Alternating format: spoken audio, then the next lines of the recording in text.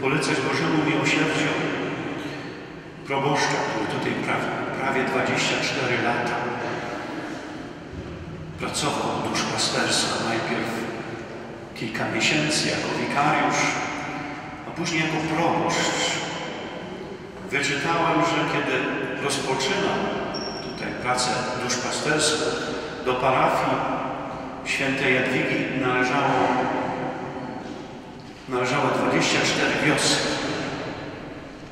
Ogrom pracy, dziewięć kościołów. Pomału, pomału też inicjował budowanie nowych kościołów, nowych ośrodków duszpasterskich w różnych innych miejscowościach, czy w Gosporzu, czy w Połkinie, czy w innych miejscowościach. Przyczynił się do utworzenia parafii w Pławie, w Połpinie.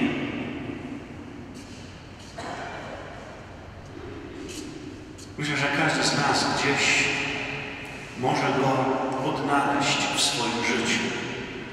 Kiedy przyszedłem tutaj do parafii, to zdawałem sobie sprawę, że kanonik Stanisław Garcarz jest wyjątkową postacią dla Krosna Małżeńskiego.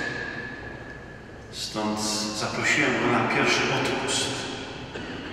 Kiedy tu przybył ze swoim charakterystycznym, bardzo mocnym głosem, przemawiał jak prorok, jak ten dzisiejszy Izajasz z pierwszego czytania.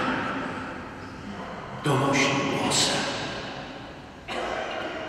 Bo często do człowieka trzeba trafić jeszcze też bardzo stanowczym, jednoznacznym wołaniem, by nie było żadnych wątpliwości. Znałem go bardzo dobrze jako duszpasterz akademicki. W Gorzowie często odprawiałem mszę świętą w katedrze gorzowskiej, przychodząc ze studentami. Mimo, że pracowałem przy papieskim fakultecie, to wszelkie rekolekcje, czy to adwentowe, czy wielkopostne właśnie, były w katedrze, bo to serce naszego miasta. Stąd studenci tam bardzo często przybywali. Zawsze z otwartym sercem. Zawsze wzruszony młodzieżą, która przychodzi do katedry. Pamiętam, jak bardzo przeżywam przy, przybycie Ojca Świętego. Wszystko robił, by również na plebanii był, ale z powodów technicznych stało się to niemożliwe. Ale był tym, który też starał się, by papież był w katedrze. Papież bardzo, bardzo chciał pomodlić się przy grobie sługi Bożego Biskupa Wilhelma Pluty, jego przyjaciela. Mam akurat zdjęcie, kiedy właśnie ksiądz Garcarz wita papieża w drzwiach katedry. Papież ofiarował kielich z inicjałami państwa watykańskiego. Kiedy odchodził na emeryturę, ksiądz Garcarz powiedział, chcę jeszcze przekazać jeden z najcenniejszych skarbów katedry. To właśnie kielich i patena podarowane proboszczowi katedry. Teraz Ty jesteś proboszczem, teraz Ty jesteś kustoszem tego kielicha i pateny. Sprawił mszę świętą w rocznicę śmierci, w rocznicę wyboru Jana Pawła II. Sprawił jej zawsze wtedy, kiedy będzie jakaś okoliczność związana z papieżem Janem Pawłem II. Kiedy, kiedy odchodziłem z katedry, pozwoliłem sobie podobne słowa powiedzieć mojemu następcy. Zawsze mówił o Krośnie mój dom. Tutaj wiele zdziałał. wielkie remonty tu w tym kościele. Pamiętam, jak chwalił się, że tutaj w Krośnie mamy pierwszy obraz namalowany na tynku, na suficie, jaki w ogóle można było wymalować,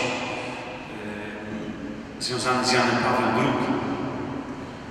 Bo jeszcze tego samego roku, kiedy został wybrany, w 1978 właśnie kończono malować tę świątynię, sklepienie, yy, całe wnętrze. I pozostał jeden medalion pusty. Postanowił, że w tym medalionie będzie właśnie Jan Paweł II. Jeszcze tego samego roku, w 1978 roku, papież Jan Paweł II był już na suficie naszej świątyni i jest do dzisiaj. Kiedy tutaj przyjechał na odpust, to trochę wcześniej, zaraz mi o tym mówił z wielką dumą. To właśnie w Krośnie. Z jego inicjatywy też zmieniono miejsce cmentarza na ten, który mamy dzisiaj. Cmentarz komunalny, dom katechetyczny, w którym odbywały się rekolekcje oazowe. Zanim przyszedłem do Krosna, to słyszałem od wielu osób, a idziesz tam, gdzie byłem na oazie, gdzie byłem na rekolekcjach oazowych, let, letnich. Cieszę się, że ten dom katechetyczny dalej tętni życie. Spotykają się różne grupy, chór, wspólnoty. Niech tak będzie jak, naj, jak najdłużej.